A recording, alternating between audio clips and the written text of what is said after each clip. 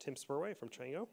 It's called Hustle, a column-oriented distributed event database. So Tim Spurway is a software engineer who heads up large-scale data team at Chango. He's the creator of Hustle, the column-oriented, embarrassingly distributed relational event database, which was open sourced in March 04. So let's welcome Tim. Thanks a lot. Hi there. Does this work? Good.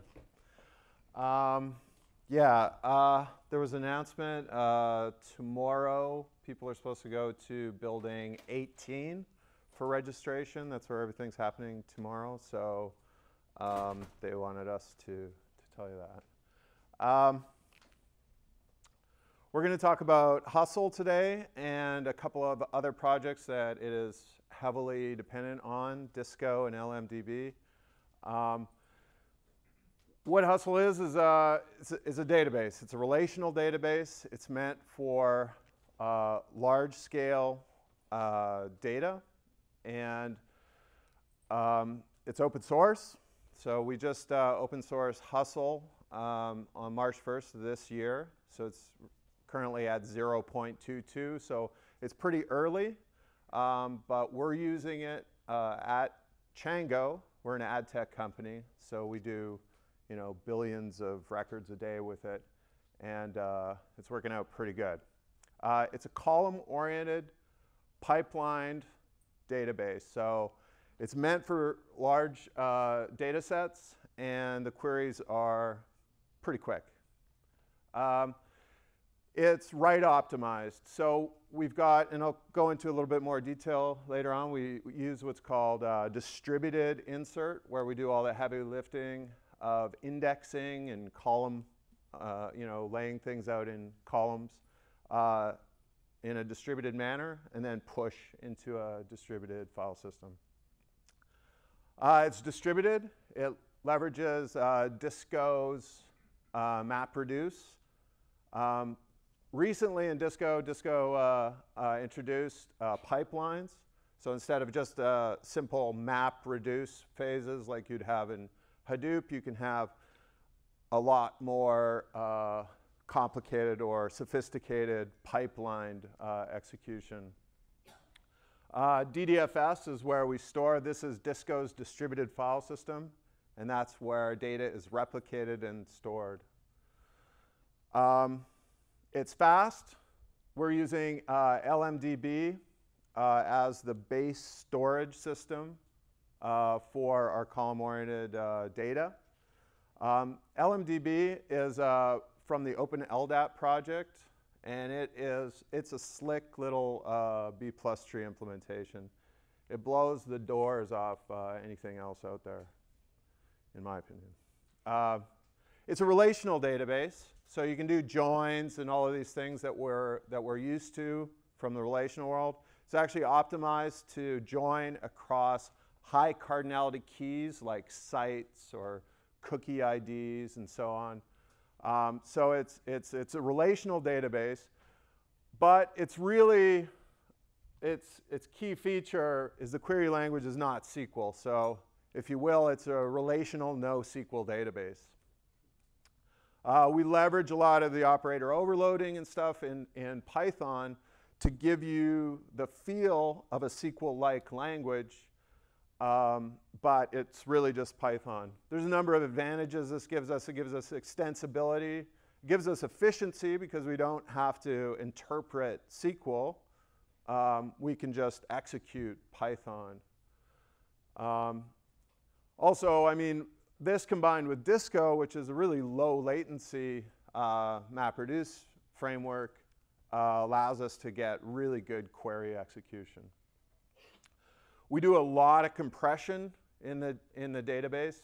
Uh, when you insert data, we use a lot of different uh, uh, techniques for squishing the data down. Uh, and then we have also a command line interface, which we'll get into uh, quite a bit uh, later. All right. So column orientation. Um, for those of you not uh, familiar with column-oriented databases, most relational style databases are row-oriented. That is, you store rows of data together, um, which is great for uh, small data sets, but for large data sets where you're aggregating over a, uh, over a set of columns, uh, a few columns, uh, column oriented is better because you store all of the data for a column together. And then when you want to do an aggregation operation over that column or just select that column, you only have to go to one place. So if you have to sum up a column, which is a very common operation, you just have, you have one you know, burst through memory summing stuff up. So you get really uh, fast uh, aggregations and it, very efficient. Uh, it also has very good compression characteristics, and we'll take a look at that in a, in a while. Uh, Hustle uses bitmap indexes. So uh, column-oriented databases really go well hand in hand with bitmap indexes. I'll explain what these are too in the next slide. Um, this is a little, this is the Hustle DSL, an example. So this is uh, an example of creating a table. All right, so I mean, it looks like DDL from the SQL world, but it's Python. Um, you'll notice some of the types, like trie, uh, you know, uh, we have a whole bunch of different uh, sizes of ints and so on. There's indexes, so you specify whether you're indexing a column. We have types like bit, which actually are stored in a single bit uh, in a bitmap index. Um, so a lot of the types are different than a traditional database, but it's for compressibility and efficiency. All right. So I'm going to talk a little bit about the layout of Hustle. Uh, we'll get to actual doing some coding and stuff and uh, into the tutorial part, but I just wanted to give you some background on how Hustle's laid out and how it works. So when you insert data into Hustle, what you're doing is you're creating a, what we call a marble file, which is a memory mapped B plus tree that contains all the columns for a given partition for a given table. So here I've got this, let's say this is a file, and I've just inserted a bunch of data into this table. I've got three columns and some metadata. Um, so all of the data is column oriented. It's not, it's, you have a row ID and then you have the value. So this, the column is named amount. It's got a site ID, an ad ID. Um, the key value, ordered key value. Um, so you've got a row ID and the value.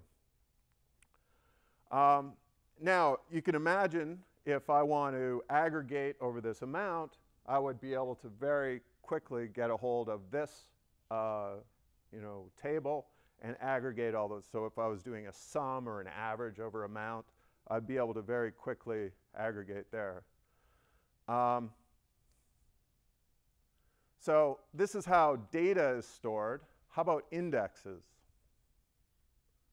Oh, one, one point I wanted to point out here for compression is if uh, when you have rows, if adjacent rows have the same value, you can just skip them. So that's a form of compression actually. Right? So if here the first 21 rows of my site ID have the value cnn.com, so we just put record th this one and the values that change.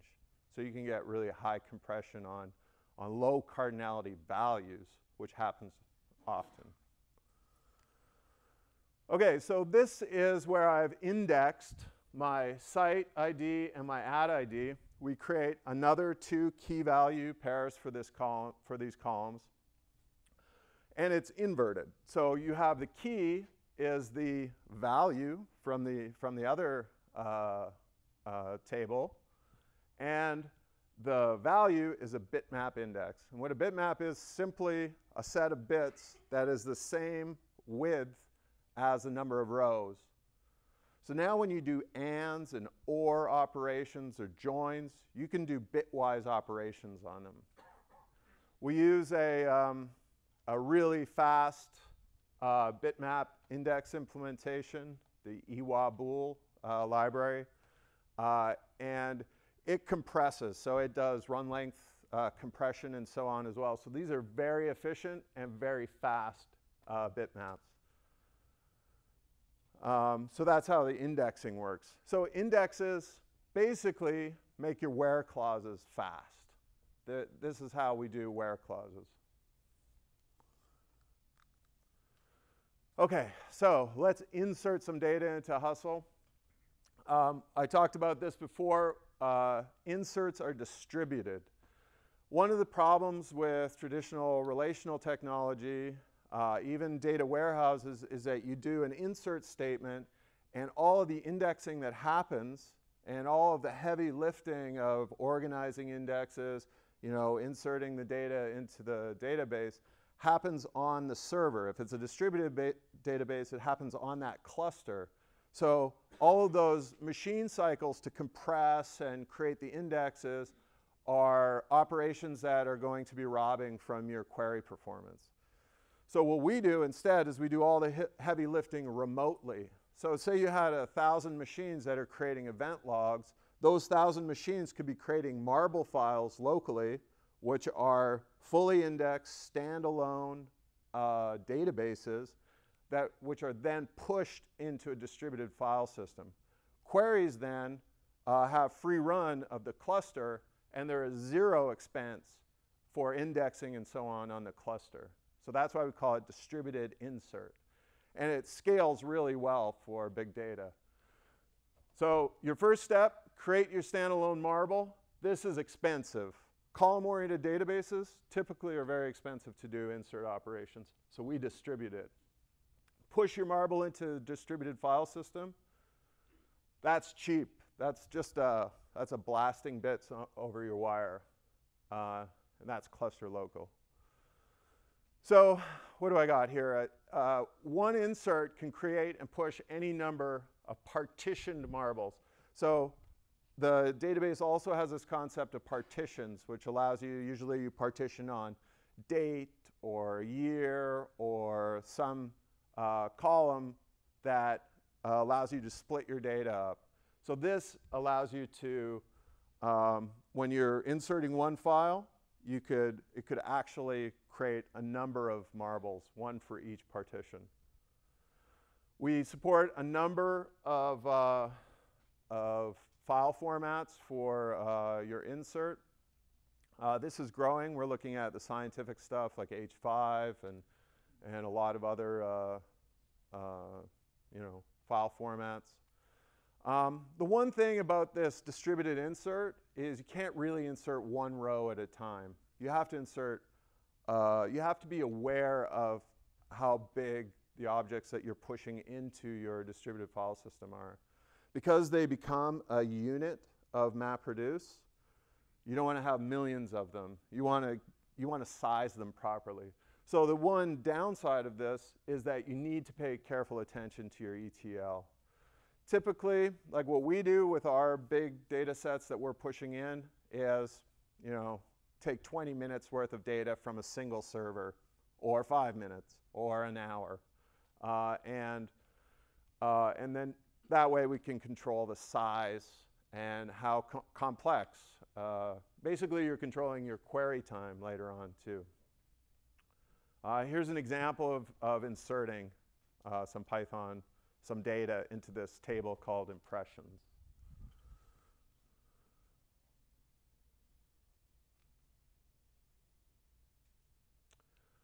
Okay, uh, I mean, I've, I've talked about dis, uh, Disco and Disco's distributed file system. Uh, Disco is, who here is familiar with MapReduce, by the way? Like, uh, okay, so a lot of people. Um, Disco is unlike uh, Hadoop's HDFS in a few ways. One of, the, one of those ways is that it's tag-based uh, instead of directory-based uh, which means that you have a many, many relationship between tags, which is, is, how you access your data, and blobs, which is the actual data itself. Now, the cool thing about Disco is that it allows you to have metadata on your tags. So what we did was we leveraged that to store all the metadata about our table. We don't need to have like a separate database somewhere tracking all our metadata. We just put um, all of the column type information and so on about our, our, uh, our tables in these tag attributes. Also, um, we use the tag uh, names to store our partitions. So a table, uh, you know, this is a tag in Disco. So by convention, we use these colons to separate chunks of the tag. Everything starts with hustle in the distributed database. Uh, the table name is impressions, and then this is the partition. If I did a DDFS LS or a DDFS blobs to find out what this was connected to, I would find these uh, URLs to where the actual data is. So we're leveraging all of Disco's features to store our metadata and to do our partitioning. So now when I execute a query in Hustle and I say where date equals or is greater than uh, August you know, 17th, it'll be smart enough to just pick those tags for that partition, making my query faster because I'll be looking at less data. All right. Uh, so how do you query this thing, right? Um, well, it's a Python DSL. Uh, we've overloaded, we've taken some liberties with uh, the DSL idea and overloaded some operators in what might seem like a strange way, but it works pretty well.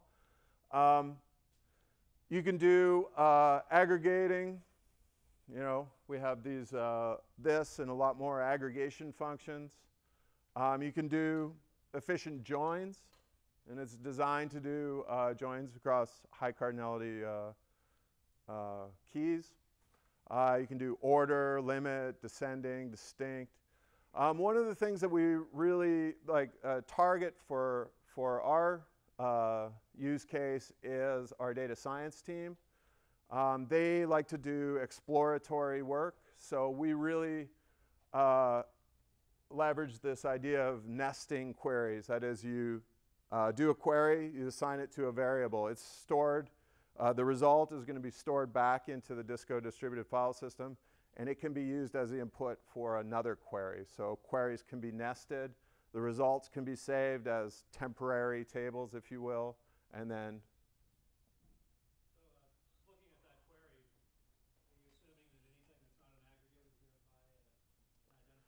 Exactly. So we don't have group by, we don't have from.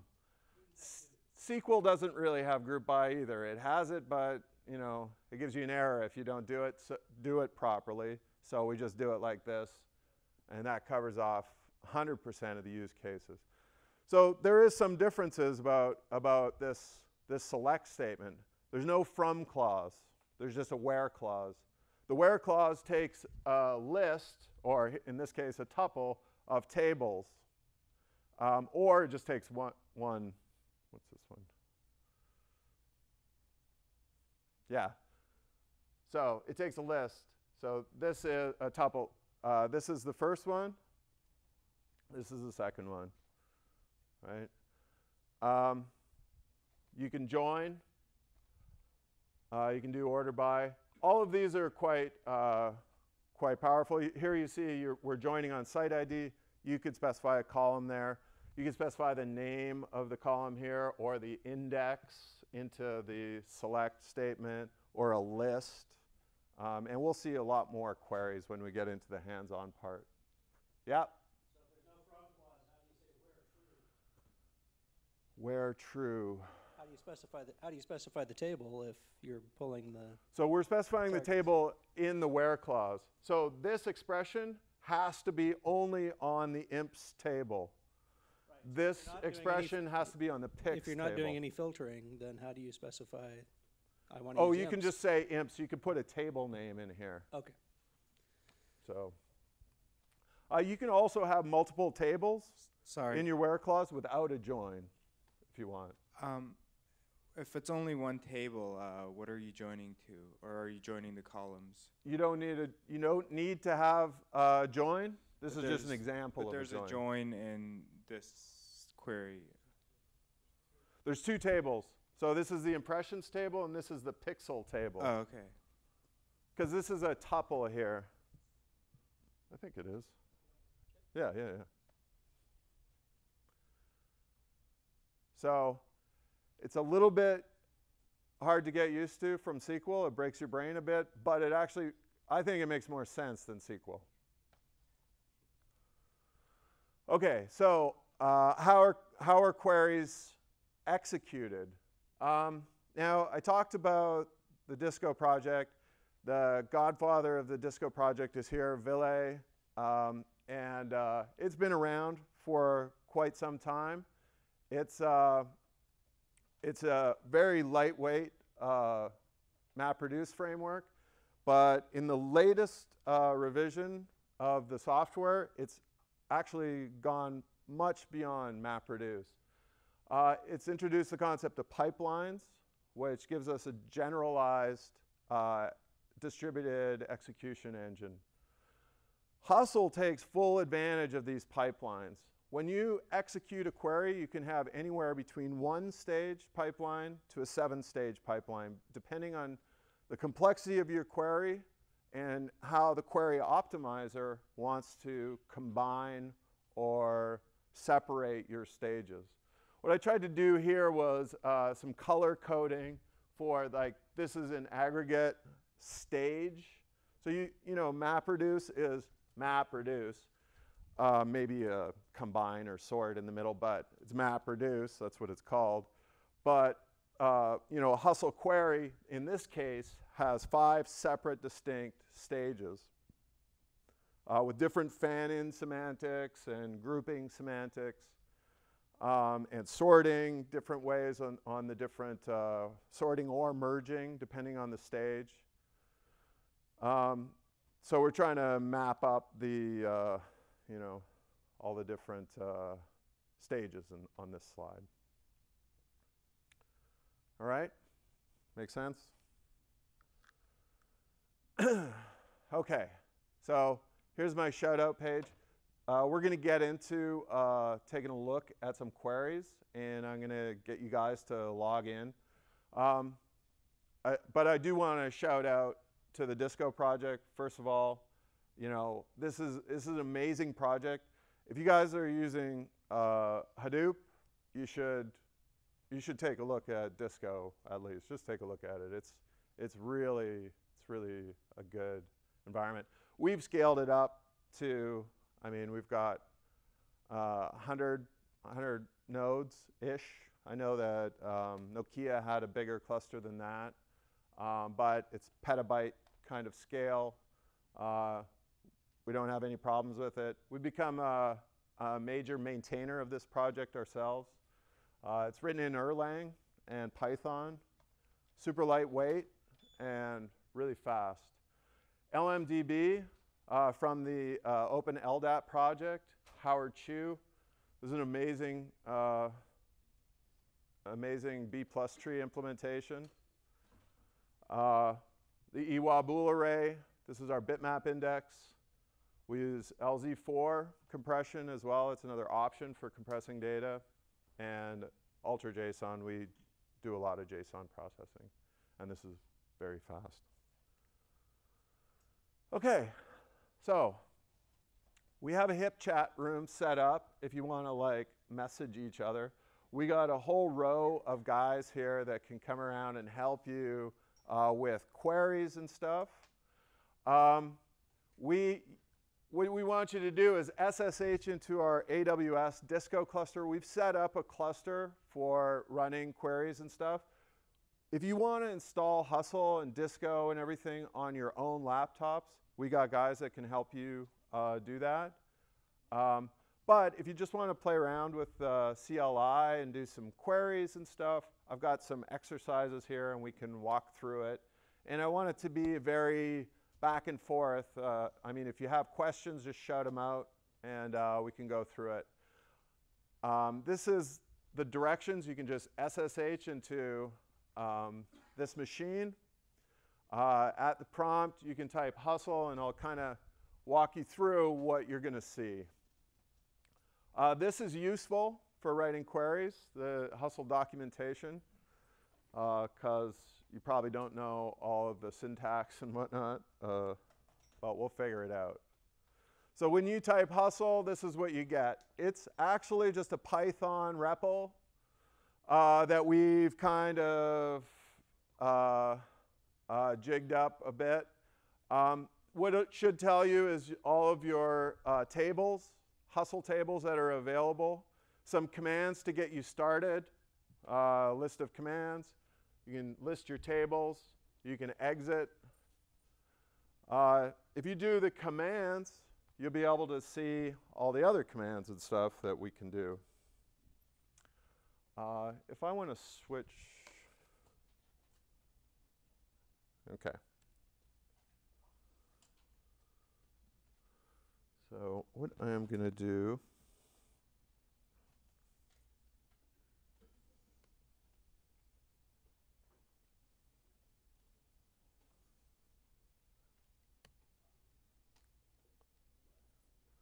Okay. Can we all read this? Okay. I will make it bigger then. Tell me when that's good. More? That's good? All right. So um, let's go ahead and say commands. So this is like just a little bit of help. This is Python though. I mean, anything that you can do in Python, you can do in here. Um, we've added autocomplete capabilities. So if you type in a table name, say, I, say observations, which is one of my tables, obser, and I hit tab, it auto-completes. And then if I put a dot to dereference the column, it gives me all the columns and allows me to go in and say, oh, I meant a date. So it'll autocomplete. So that's, that's kind of nice. It also autocompletes your commands. So select. Um, let's do, uh, well, let's take a look at the schema of our stations. Oh, I forgot to tell you what the data is. Um, so do you know the million song database? It's like there's a million songs, literally exactly 1 million songs. And we also, so we've got that. And we also have, um, and there's a couple tables there. We also have all of the weather data, weather observations from across the world from 1929 to 2009, every single day, uh, every single station. Uh, it's about, so we're talking like 150 million records. You know, in the ad tech business that we're in, that's about 50 seconds of data. So, I mean, it's uh, it's big-ish data, but I don't know if it's it's it's it's a good set to mess around with. But um, the hardware we're running on is AWS mystery hardware. Um, we've got a 10 node uh, Disco cluster. Um, and so what we're going to do is we're going to go through a couple of exercises to just get used to the data. So let's take a look at the stations. So we can say schema stations, which we just did. Oh, by the way, there's also a history function. Uh, this is, I'm just hitting the arrow keys here. So if you want to get back to your query, you can just use the arrow key in the CLI. Um, so the stations is weather stations. So We've got this guy here, Latin long. What we did was we just combined Latin long, uh, got rid of the decimal point. So it gives you kind of a square. If you compare it to other stations, it'll give you a square of about, I don't know, 30 miles by 30 miles. It's a full degree. Um, there's call codes. So KSFO is, is San Francisco's airport. Um, there's lat long, there's region, country, uh, name, and so on. So we could say select um, uh, stations dot name uh, where uh, stations dot uh, call code uh, equals KSFO. So It's got two of them in there. That's the data set, has two of them. Now, a couple things about this. This equals operator, what happened there? If this is just Python, shouldn't this evaluate to true or false or something? Well, it doesn't. It evaluates to an expression that is pushed out into and evaluated on every single marble during the query execution. So we've overloaded this operator uh, to give us a deferred kind of lambda expression that will get executed during the query.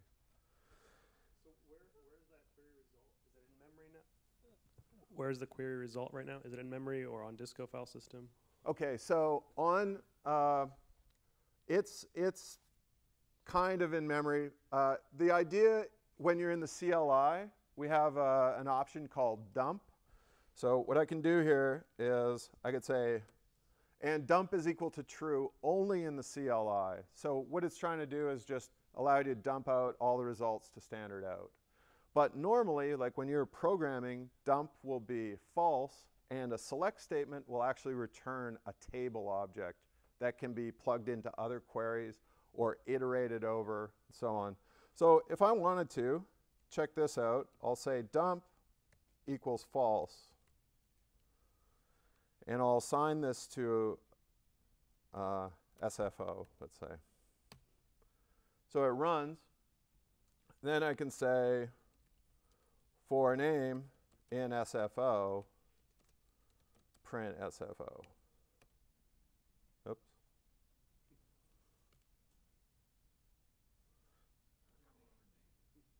Sorry? Oh. Sorry.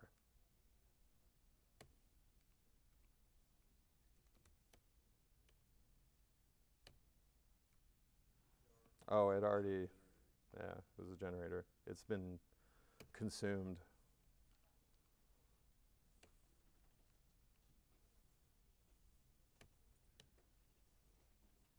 So it returns a tuple set which will have all of your columns. Um, okay? That's the other thing is we've made it exceedingly easy to interface with this thing in regular Python. A table, if I want to do the same thing, so all my tables, remember, I'll clean the screen here, tables. Uh, if I want to go over, let's go over, well, the stations is our smallest table, so I can just say for station top in stations print station top. So, you know, you can interact with your data just using regular Python stuff, or you can select it, and that returns a table that you can interact with just using regular Python stuff. Hey Tim, if I do a select statement with uh, two col- if I do a select statement with two columns, how does it determine w- in what order the uh, columns are returned in the result set? That's the order that you typed them in. Thanks. Okay, so let's go to uh, the first question in our, I'm going to not do this full screen anymore. Uh, we're going to do a question. And if you guys are all logged in, did, it, did everyone get logged in? Was there any problems? Sure. Oh, yeah. You can go to HipChat or it's Dr. Teeth at million.chango.com. And the password is PyData with big P, big D, 2014. Yeah. Does it support lazy evaluation when you set a variable like that? Uh, well, it not lazy, but deferred. So what you can say is, uh, you know, if you know that a query is going to take 20 minutes, uh, what you can say is, is defer the, the query, and it'll return a future object to you that you can then uh, use in other queries. And you know, when when it needs to, when it's ready, you know, it'll come back. So you can start a whole bunch of queries and then use the values. You can wait for it. There's a whole protocol. I'm not going to get into that in this talk, but uh, unless we have time. But it, it's it's pretty cool. We we added that recently.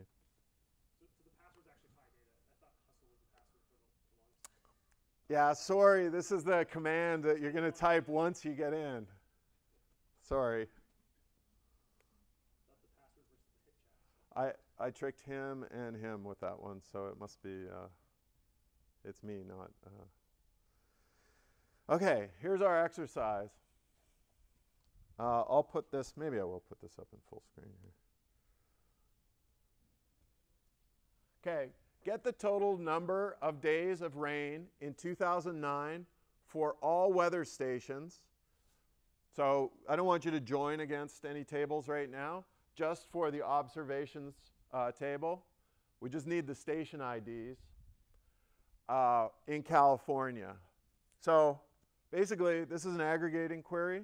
You're going to group by, well, you're not going to group by, you're going to select the station ID and um, the count where there is rain that day. So if you use the schema command to go and take a look at the observations, you should find a hint called the rain column for whether there is uh, rain or not. It's a bit. It means that it's either 0 or 1. You can sum it up if you want, but if you put it in a where clause, it'll be a lot more, uh, it'll be a lot faster because it won't have, it'll be able to narrow down to where the rain is true rather than doing a table scan over that partition. Okay, so there's some gotchas. Uh, I talked about this already. This is the way that you look at the schema of a, of a table. Uh, selects. I didn't talk about this. You can't use the AND. Python's AND is not overridable because of its short circuit function. So this is why we had to use the bitwise AND to specify an AND. Remember, the, the equal equal is just a lambda that gets executed in our MapReduce. Same with the AND. So we can't use Python's AND operator, right? Uh, now that introduces this. Uh, because the precedence of this is higher than this, you need to parenthesize everything in a where clause.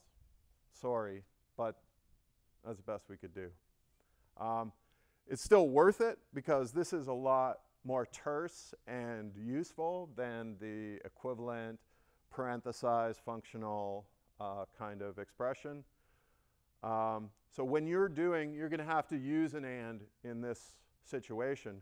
Make sure you wrap the parentheses around your expressions. Aggregating functions all start with an h underscore because there's stuff called sum and count already in Python, and I don't want to, I don't want to, you know, mess with it. Uh, bit columns are one-bit integers; they're not bools. Although you can compare them to true and false, it'll cast it, but don't.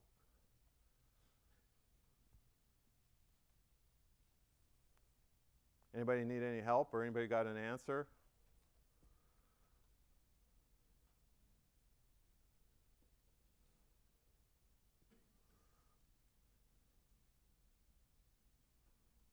Tate, you got an answer?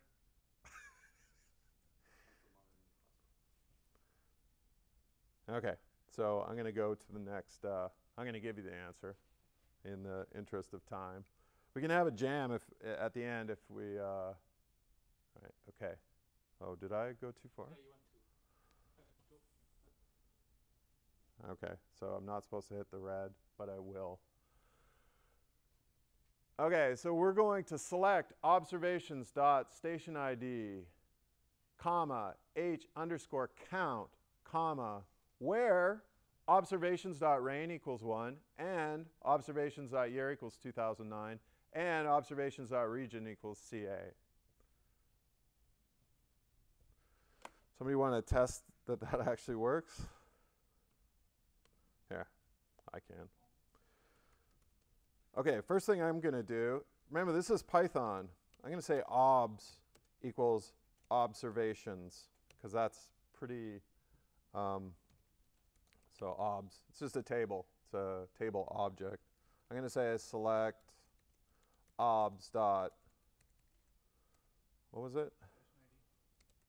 Station ID, comma, h count, comma, where, um, obs dot year equals 2009. Um, and obs dot rain equals 1.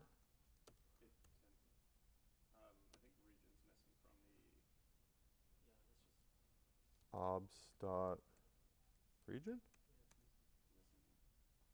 Oh, shoot. Okay. Yeah, uh, actually, it's in the station. Sorry. Yeah. Okay. So you can do you can do this query. You can't do the station. Uh, you can't do the region until you join with the next table. So uh, I did get ahead of myself there. So we can do this query. If you, okay. So this gives me a bunch of station IDs. So these are all the station IDs across the world. In order to actually answer the question, in fact, it was a trick question. Uh, to, to answer the question properly would have would have taken a join, which we're going to do next. Okay, so this actually, remember, the observations is 110 or 120 million, so data points. This had to visit an awful lot of them. Uh, I mean, it was able to narrow it down because our partition is this guy, so that out of 50 years, it probably divided the amount of data had to be visited into 50. And then this is represented as a bitmap index. So assuming that there's fewer days where it rains in California than not, and this year I know that that's the case, um, then this would have narrowed the amount of data down a lot more that our MapReduce job would have had to, uh, you know, consider. So, yeah, Talk about h count. okay. It's not a method, it's a function. I'm confused about, is it a function ID or what? what- It's What is going on a there? aggregating function. What it returns is a, a- uh, an aggregation object that gets executed during MapReduce. So if you if you think about MapReduce, it's what happens during reduce. So you could have h sum of a column, or h average, or min max, whatever, or h count, which just counts uh, you know, it's a reduce function that just like select count of something in SQL. But that h count is just generating another. It's just generating something else is getting executed? Yeah, so it gets executed, uh, an incrementer gets executed during a reduce or an Right. aggregation phase uh, during the query. And the reason it's got parameters is because you could do some different things with it versus just like a function? no, it's a function. Okay. It, it, this function returns an aggregation object. okay. So it's to be consistent with all the other. Okay. all Rather the than other. just putting the object in there. Yeah, you could actually create an aggregator object. It's just another Python object, and create your own. And that's actually how you do how this is extensible, right? Because you can create your own aggregation objects, like like we've done uh, cardinality estimation over HLLs and uh, and uh, min hash. Um, so you can do, you know, you can. This it's extensible, unlike you know a SQL interpreter would be. Okay, so let's go to our next question.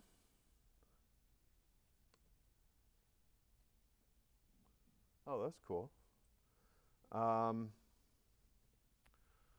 okay, now let's join this query against the stations table to select the station's name and station's lat long columns with the counter rain days. So basically, we're going to hit the up arrow on this query and join our stations table and select, you know, in our projection here, the station's name and station lat long.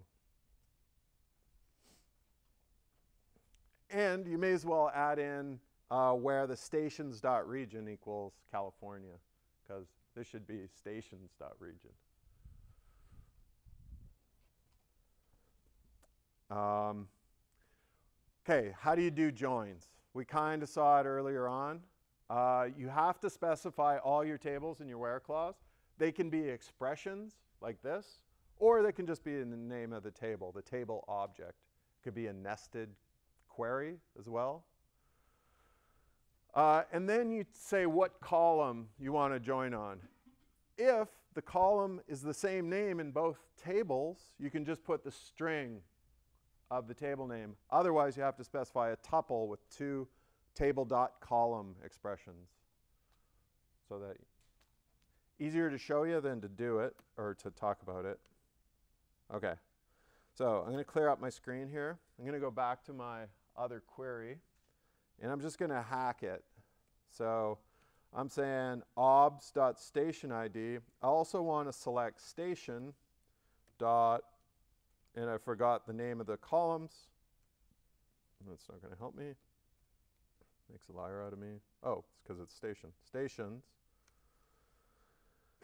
So what did I want? I wanted lat long, right? And I wanted um, the name.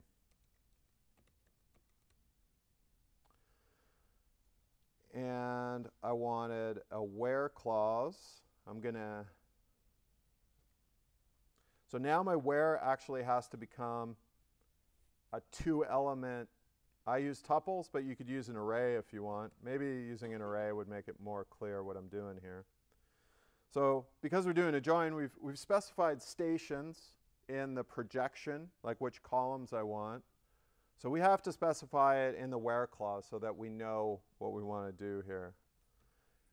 So I'm going to add another element to this array, and I'm going to say where stations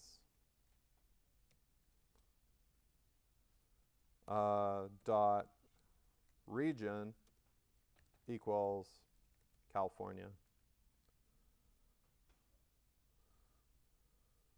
And I can finish off my array.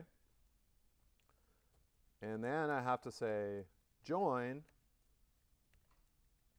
on station ID. Right? So you guys see what I'm doing here? Uh, specified uh, an array of two table expressions. So it knows what tables that it's going to work on. Uh, and we specified a join on the column that exists in both tables. Is there a way to map, like if, They're not the same name. correct, yeah, they're different names. So the question was, what if I've got different names in the two tables? Well, I'll show you the equivalent join to take care of that case. I would say, here's the stations dot station ID, comma, uh, obs dot station ID is the equivalent. So this case can be shortened to just quote station ID because it's, uh, but this will work fine, and this is how you do it if they're different. Okay, let's see this execute. Okay, so what did we get here? Um, these are all the California weather stations that reported more than one day of rain in 2009. I was expecting maybe a bigger list. I don't know. We did just load the data oh, today. We were expecting like maybe 10 people for the, so we had a small cluster, AWS cluster of three machines, and we are no, that's not going to do. So we wiped it, brought up 10 or 12 nodes, and reloaded all the data. Anyway, so you get the idea. Here's your station ID, uh, your name, your count.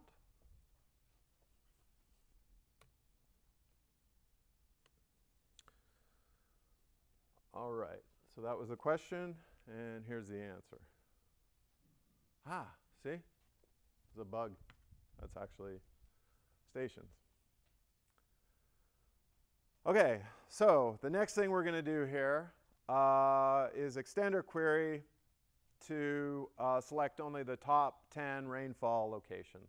So um, the way you do this is you use a limit, you use a descending equals true, and you do an order by. The order by is really flexible. You can specify a zero-based index, like 0, 1, 2. So in this case, we want to order by this.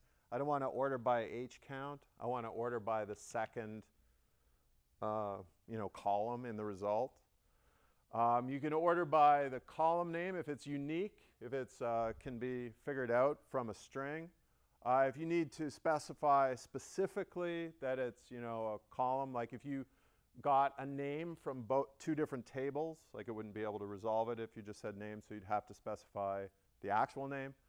Also, you can introduce, there's a way of introducing aliases on columns to name them something uh, that you want to do yourself. Uh, and that's the column object has a dot named. We won't get into it, but it's there in the documentation if you want to mess around with it. So let's go and do this query. I hope you guys are getting the idea of uh, how where this where this is going. Um, uh, all right. Um, so let's clear our screen. Um, I'm going to make this a little bit nicer. Just join on station ID. We're going to say order by equals, and I, I'm just going to go, I want to order by the H count, so that's 0, 1, 2, 3. That's the third projected column. So I can say order by 3. Uh, limit equals 10. Um, and I need it in reverse order.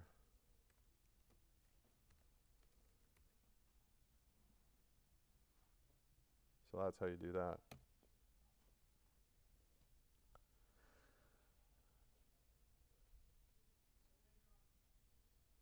Santa Rosa, is that a rainy place? I don't know. if you say so. I don't know. All right. Um, so we got a whole bunch other. We got the million song uh, uh, database as well. So I mean, if you want, we can figure out. You know, in this rainy, you know, was there any albums released? You know, in that town that's so rainy, for example. Um, so let's take a look at our song stuff. So tables, there's a million song database.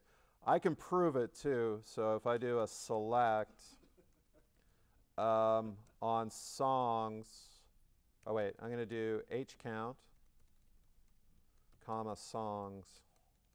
Oh wait, sorry, where songs. Okay, here's a case where I'm just using the table name and the where clause. Um,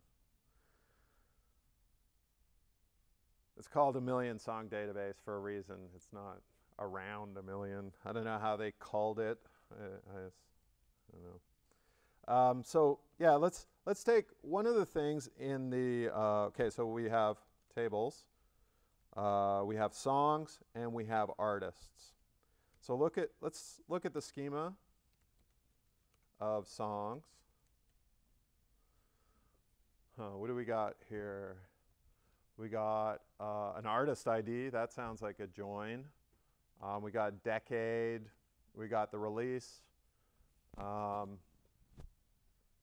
and duration. That's something we could aggregate on, probably.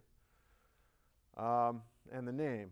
So how about let's look at the schema of artists. huh, it's got lat long. Okay, well that's the same as my lat long from my weather station query. So I could probably join against figure out, you know, what artists live in Santa Rosa. I haven't done this query before. There may not be any, but given the fact that, you know, certain types of music likes precipitation, it's possible.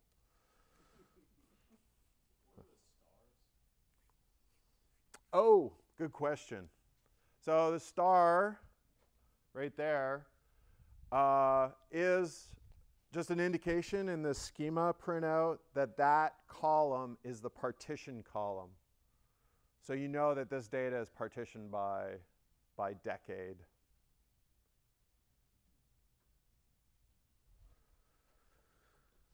Um, so what am I going to do? I'm going to look for um, songs.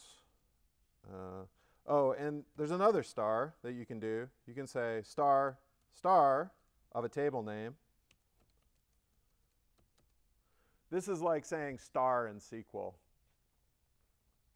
except you got to do star star. It's Python, right? So this is going to unpack all of the columns in that table. The star operator in Python unpacks arrays or tuples, and star songs is a function that returns all the columns in a, in a table. Maybe I should do this in two steps. If I say star songs, I get uh, an array of column objects. This is Python, right? So if I say uh, select star star songs, that array gets unpacked and I get all of the columns in that table. Where, uh, oh, I also want the artist name, right? Oh.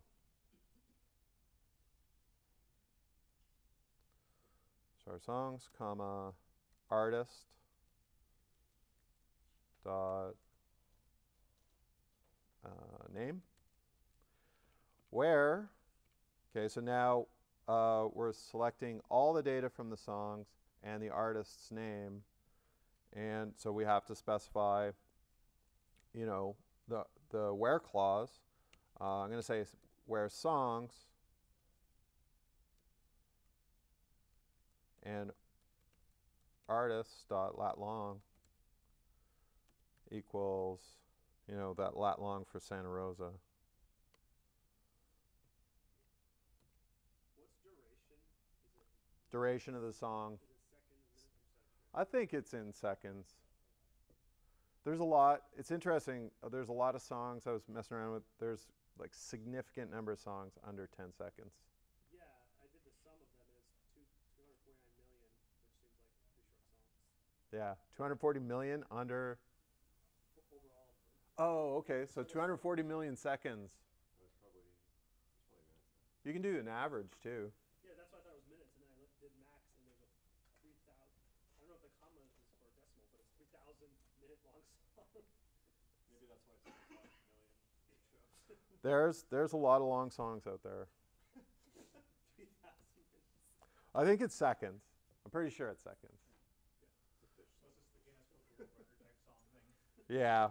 Well, some recordings, you know, of some things. I don't know.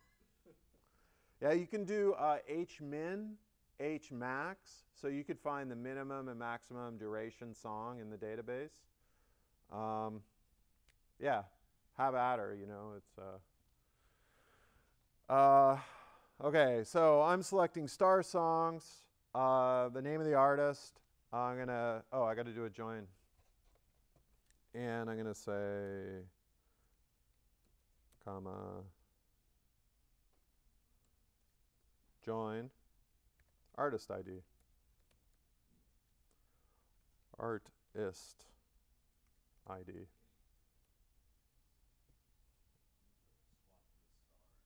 Oh.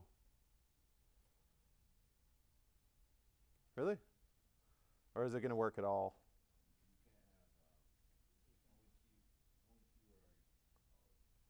You are 100% correct.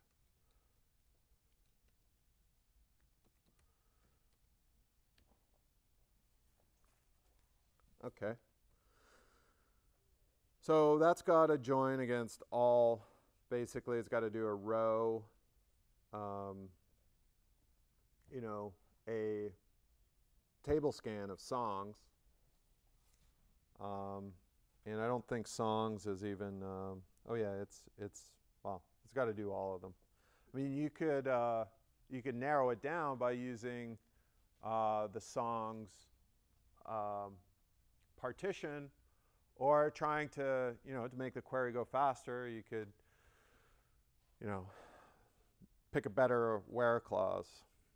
So, so there is, that's a lot of data. How about, let's do it again and just select, uh, I don't know, a couple of columns from the songs.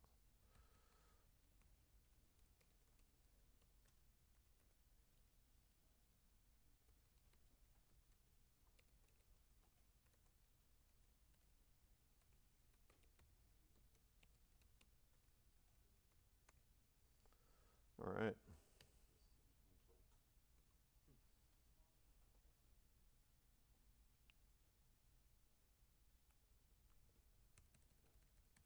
Duration.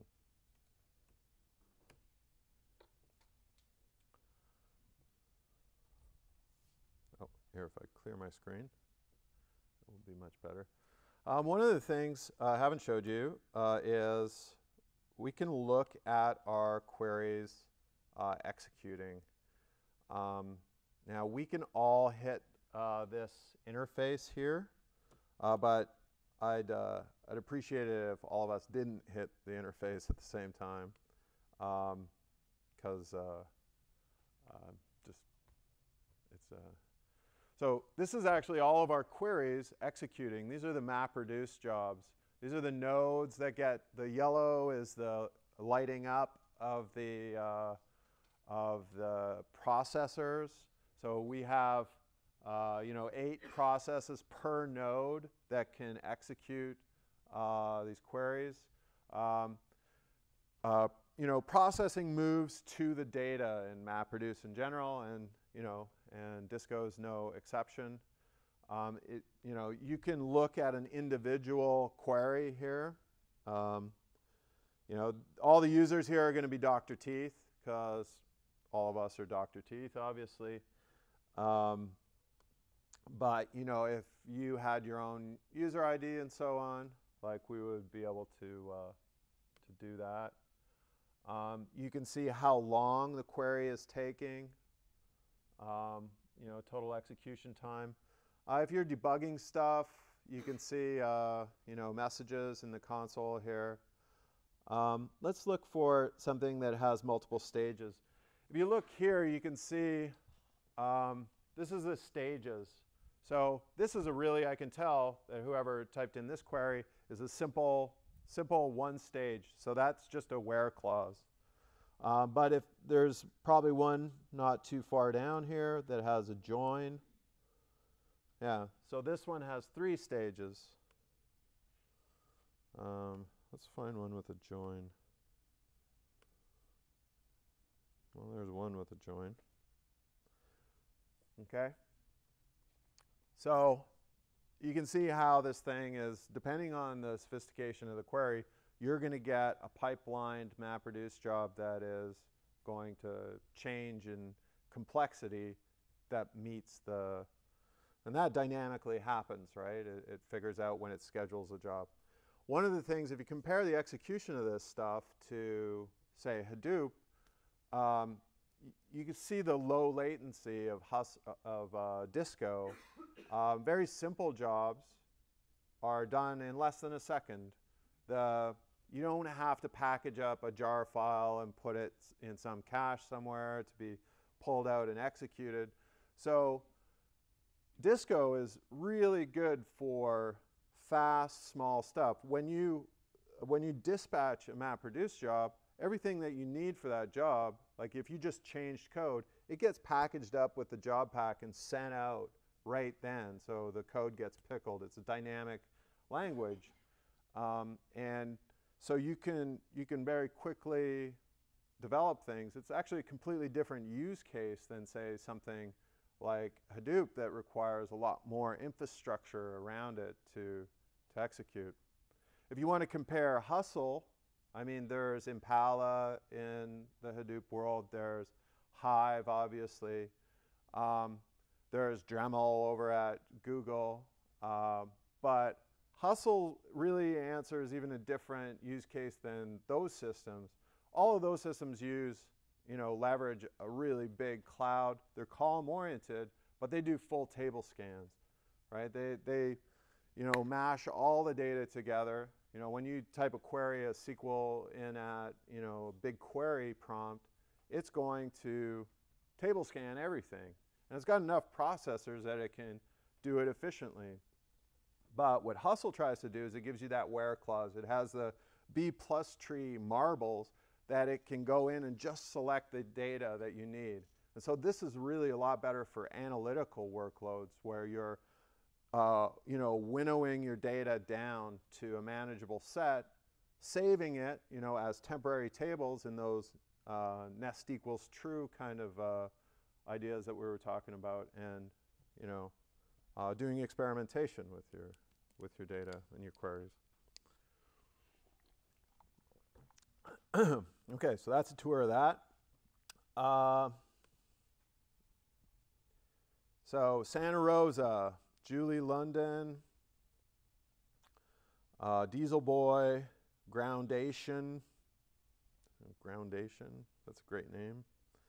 Um, okay, so I mentioned this uh, nestability and so on of uh, data. So, you know, uh, for any query that you give, you can say, you can assign a value, right? So you can say, you know, temp tab. Okay, so there's dump equals false. But with dump equals false, it just gives you a list of tuples. It gives you the results as a list of tuples. But if you say nest equals true, and I think it, that's good enough.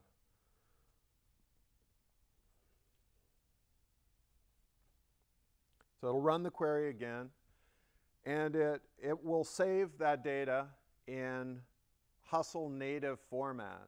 So the output of the job, instead of being a list, a distributed list of tuples that are the tuples in that query, it's actually going to create um, queryable, uh, a, a real first-class table that we can go and drill down into. Well, there's an error. Okay. Hmm. Worker is behaving badly. Oh, I've got some uh, debugging code in here. Hmm. That's not good. That's embarrassing. Yeah, I know exactly what happened here, but uh, okay. So, yeah, I was debugging something. Um, I don't want to fix it in front of everybody.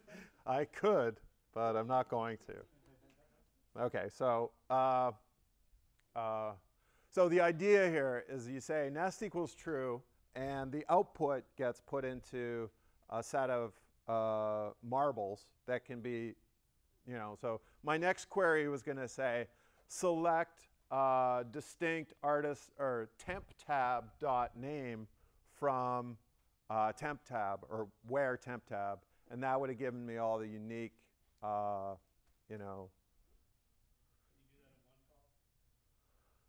Um, yeah, probably. Um, yeah, you, you can. Um, because, you know, you could put another select statement inside of the where clause because it's just Python, right? So you can, that's why it's called nest equals true. Um, that nested one has to be told, hey, I don't want a simple tuple uh, response. I want an actual marble response so that I can go and nest. So this is used for if you've got really big data sets, like some of these queries, it's fast, but it's not like, it's not super fast. Um, some of them can take 10, 20 minutes. Yep. Is there a way to name the intermediate columns or your temp to actually give? More meaningful. Yeah, so by default, the question was, can you name things other than what they're, they're called? Um, and yeah, you can. So what you can do, uh, any column can be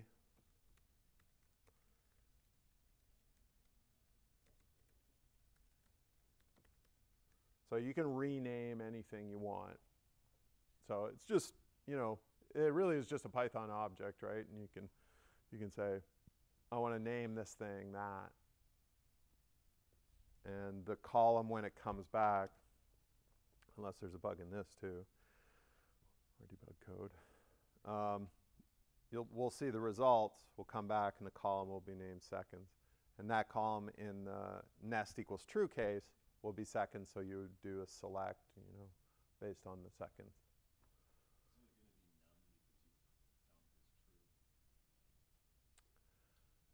Uh, yeah, it's just going to dump it out. I, I can't do the nest because I put uh, my debugging code is still in there, so I got rid of the debugging or the nest equals true.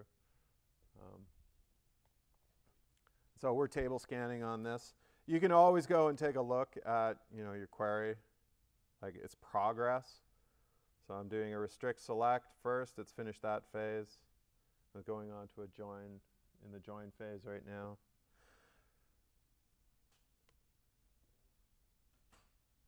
Oh, did it die? Yeah. And so let's go up to the, oh, it didn't call it that. Okay, so I'm a liar. I know in the object, like in the table that it creates, it will create it with seconds. So if you do the nest equals true, you can, that definitely works. As I said, it's an early version of, uh, so there's, there's a couple of rough edges, but I think it just adds to the charm. Um, okay. Uh, any other questions?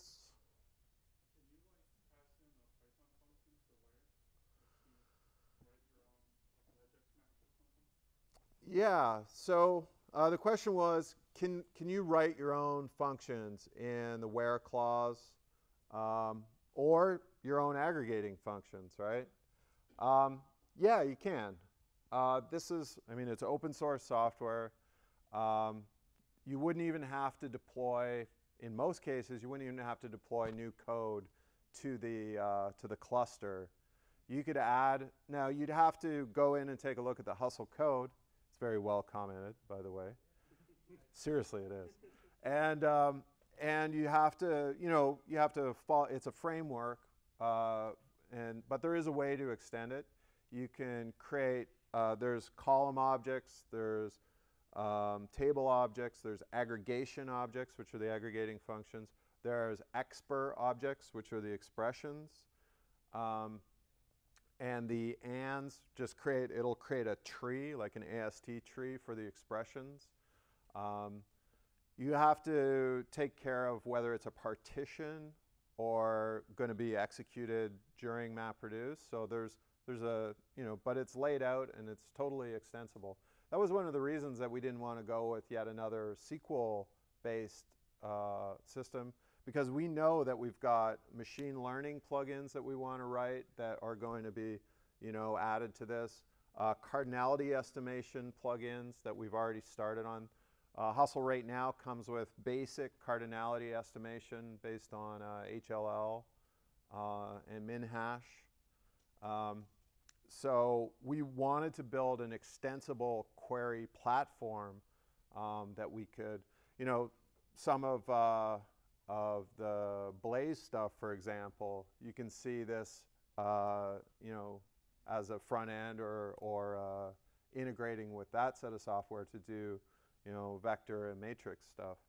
Um, so yeah, we definitely want to play nice with the, with the Python uh, ecosystem and you know a lot of things you know SQL is great. Everybody knows it. There's a lot of advantages to that.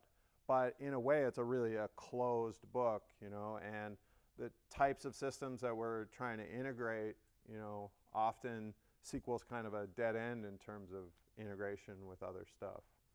Um, so that's kind of a long answer for that. Yeah.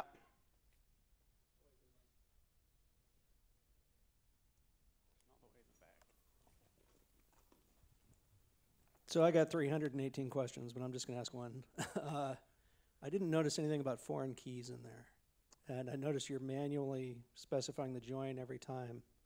Um, one thing that I found really useful, um, I had an ORM that I wrote 10 years ago in Python, was just that you could you could specify once, okay, the observations joins naturally with the stations on on these keys, and then you could actually do some pre-calculation of those joins.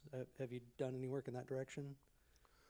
Um, yeah, so about foreign keys and pre-computing, um, I mean, we've thought about it, but um, at, you know, if you add more data to your system, then you invalidate your, you know, it's a distributed system, so it's we don't know in any central point when data has been added, um, so it's hard to kind of pre-compute stuff.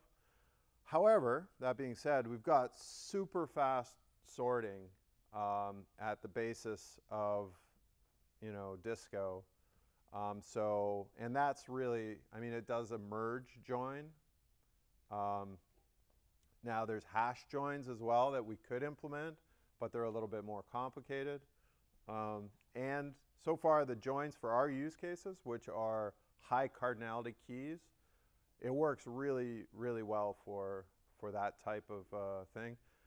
It's a lot easier to build a, a database system that's kind of that's that's closed and on one system, you know, so that you know where everything is. With this, it's it's distributed, it's shared nothing, so we have to do, you know, we have to do it uh, take different approaches. Good question. Anyone else? Billy. So uh, I'm sure that like when you are running this like under like real production load, occasionally you see timeouts or so occasionally you see timeouts or, or something like that. So what's your like preferred way of debugging jobs? So do you actually log into the node or what, Yeah. what would be the recommended way of doing that? So Yeah, I mean, so the question's about debugging, debugging queries or debugging hustle. well, I mean, queries, I guess like Yeah. from user point of view. I mean, like if Yeah. Yeah, it's it's it's early. We've got uh, we're trying to catch as much as we can up front. So we have a query syntax checker that um, we go through and make sure that if you've specified a join that there's you know enough uh, exactly two tables. Um, and I mean we try and do as much syntax checking up front as we can. Um, but yeah, you're right. If uh, it can be difficult. I mean, what we do is dip down into the the disco level um, and take a look at it. One thing that you can do that we've added to Disco in a recent uh, release is the temporary results from any stage are uh, fetchable from the command line. So you can go in, if, if something's not working exactly the way you think it should be working, you can go and look at your stages. You know, if it was a restrict select into a combiner, into a join, or however it's set up, you can pick the name of that stage and the job ID and say, well, what was the results from that stage? And then you can go and take a look at them and say, oh, I see what's going on here. Like I've got, you know, this key is wrong or something like that. Um, but as far, yeah, as far as Hustle's concerned, we've got, uh, you know, unit tests, but we've also got an extensive integration test uh, suite that, you know, it's pretty comprehensive and expects a full installation of Disco on your machine and so on. So.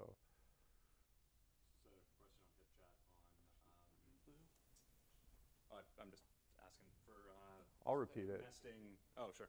Just for nesting, um, the queries when you have a nest nested query, how you actually would technically set it up. We know it's not necessarily running properly, but just maybe an example for someone if they were poking around. Okay, so the question's about nesting queries, and this is a, it's really a killer feature of, of uh, Hustle.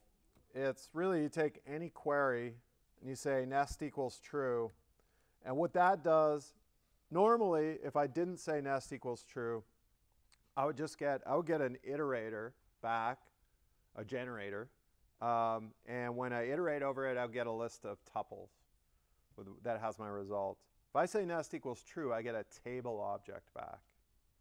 That table is stored in a distributed manner in um, Disco, so that, and it's a first class table. It's stored in the, the temporary space, the data space, so called in, in Disco. Um, but it can be executed, you can execute other queries on it. And you simply just say nest equals true, and you assign it to a variable and then that variable will contain a table that can be selected on and used in another select. I was wondering, is there a way to add constraints to the columns or how does it deal with uh, yeah. missing data and failed yep. joins? So questions about uh, missing data and constraints. When you do an insert into uh, into Hustle, you get to specify a decoder, which is the type. You know, J- there's a JSON decoder, there's a fixed CSV decoder, there's a fixed width decoder. Um, so that's the first kind of constraint is the, the type of the data. But you also get to specify a function that allows you to format. It's a preprocessor. So it gets called for every line. And it's up to you to, to format and do your ETL properly. But there's, there's hooks for it. It's built into the system. How, how difficult would it be to map uh, like the columns to the D-type structure in NumPy? Because, for example, like getting getting the iterator for I don't know 20 million rows might be a little expensive if you wanted to put it into into pandas or something like that. Um, whereas if it you know if it's smaller, that's fine. But Yeah. So yeah, integration with uh, other systems. I don't know exactly uh, that for that particular example. Maybe somebody else would be able to to answer it. The thing is that it's it is just Python, and it, the answer would be it's going to be the same as any other Python framework for integrating uh, large amounts of data. Um, it's not going to make it any easier, but it's not going to make it any more difficult either. Um, so the same strategies that you would use for other large pieces of data. Um, but the good news is it's all Python, so you don't gotta, you know, translate from a different format or anything. And everything that you're dealing with in Hustle is going to be a generator. You never, like we're very conscious about loading data into memory um, in all phases, whether it's you know deep down in the MapReduce stuff or how you deal with results. You're only ever dealing with generators. Another one in the back. Um, so I, I think someone touched on this earlier, but all of the queries you showed um, are around pulling data, but none of them really um, transform the data. Does it have the ability to do that? Or aggr- some of them aggregated the data too, but what if I want to take like the hash of that string as the output or something Okay. Um, without using an extra step? Yeah, we've got um, now that is is pretty easy uh, if you're just dealing with one column. Um, but and our number one feature request from our data science team is I want to be able to do uh, transformative functions over multiple columns. Um, so that's definitely on our on our feature list and on our radar, and we're adding that kind of as as we speak. So yeah, that's that's. I mean, you can do some stuff right now, but um, we're definitely working on on uh, a framework for that. Anybody else? So, I know probably a lot of the data you work with is string based, but in the scientific community and a lot of test data that I look at is mostly floats. Yep. How how scalable is it to say, I want to load up you know 10 million floats and just do different things with them? How do you pass that data into uh, like it, what what kernels are distributed and running? Where, where's the data in memory? How, how does it get worked out? Right now, we don't support floating point. um, it's it's a it's a matter of uh, uh, LMDB doesn't natively support floating point, although it supports a comparison uh, function, so we could fake it. But I want to I would rather work with uh, Howard uh, and the LMDB team and get floats added, and make sure that the implementation is really performant uh, rather than put something in there that is going to have lackluster performance. Because I know you guys are going to, you know, you know, really kick the hell out of it, right? So um, that's that's definitely on our plan as well. And uh, I mean, we use floating point data as well, but now we're just rounding it up to integers kind of thing. So that's, I mean, it's obviously not ideal, um, but yeah, we want first class support for floating point data. That's definitely on the on the roadmap as well.